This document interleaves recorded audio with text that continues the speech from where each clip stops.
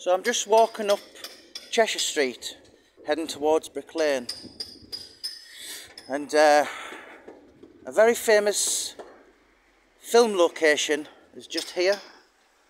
So there, number 44 and 42.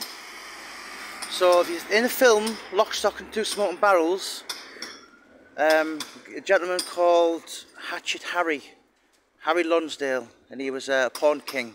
So that was where his office was. This this uh, location was also used in Snatch. Um, one of the big businessmen with the diamond, that was his office as well. But uh, Lockstock was, I think, the most successful out there.